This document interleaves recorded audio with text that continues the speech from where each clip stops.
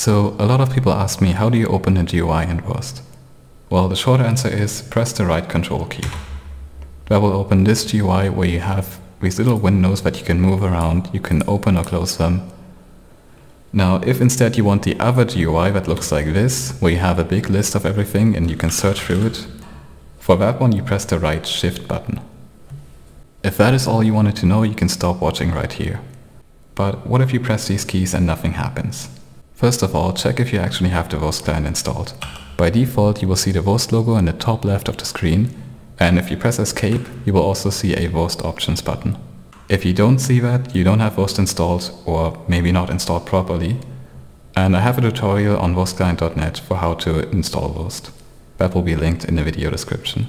Now if you do have Wurst installed but this is still not working, then it means that your keybinds for opening the GUI are missing.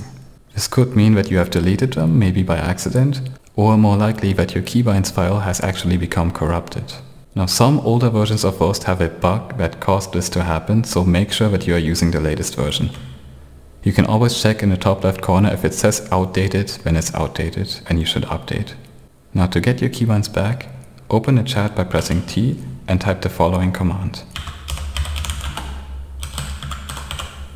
binds reset and press enter.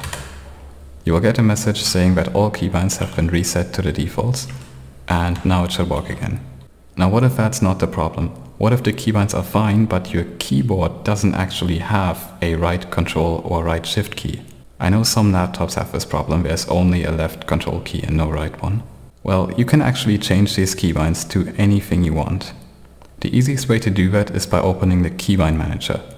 So you press escape to pause the game, click on Wurst options and then keybinds, and that will open up the keybind manager.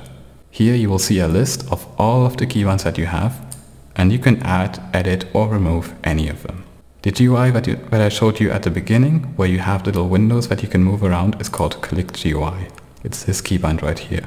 The other GUI where you have a list that you can search through is called Navigator. Now to change the keybind, first select it by clicking on it and then press edit. When to change the key, press change key. And let's say I want to open this with left control. Say I'm on a laptop like I said earlier. So I just press the key when it asked me to press the key and it says left control up here. And now you simply press save and you will see in the list here it now says left control. Then let's go back into the game and you will see that your new keybind is now working. I just press left control and it opened. When I press right control nothing happens. Now of course I only changed the keybind for the window based GUI but you can do this for any keybind that you want. I hope this video helped you. If you still need help with something you can always leave a comment below or send me a private message.